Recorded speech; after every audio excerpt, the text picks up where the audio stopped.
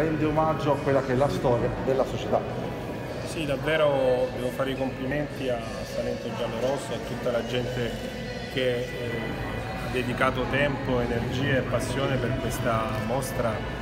che devo dire mi ha emozionato perché è come fare un viaggio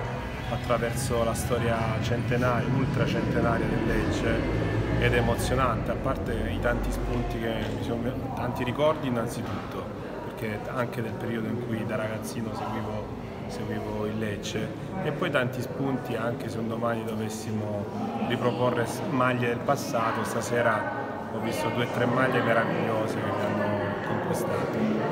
Per quanto riguarda invece l'idea che hanno avuto questi tifosi, potrebbe essere poi qualcosa che la società potrebbe riproporre un domani, magari interpretabile, una sorta di museo della passione giallorossa?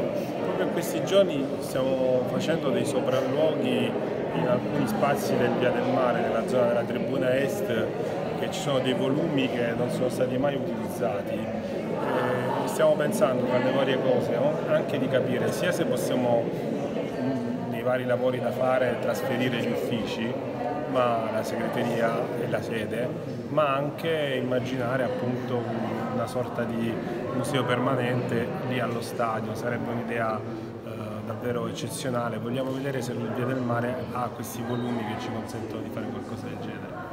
Per quanto riguarda invece il calcio giocato, eh, dopo la partita contro il Parma c'è grandissimo entusiasmo, per Frosinone si parla di un possibile esodo, come sta la squadra e qual è il clima in casa Lecce in questo momento?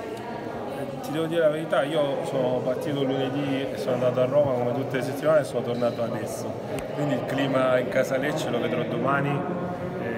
occasione della diciamo, scalmatura interna con, con, la primavera. So, mi ho sentito sia l'allenatore che Pantaleo Corvino che Trinchiera che in settimana hanno lavorato tanto, eh, molto, abbiamo qualche eh, giocatore che è indifferenziato ma mi dicono che non è nulla di grave,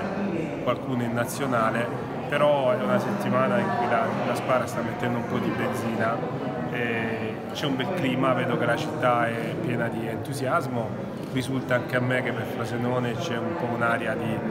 esodo massiccio, poi la vicinanza con Roma, i tanti leccesi che stanno lì in zona, potrebbe essere davvero una cornice di pubblico bella, speriamo che non ci siano limitazioni particolari per questa trasferta.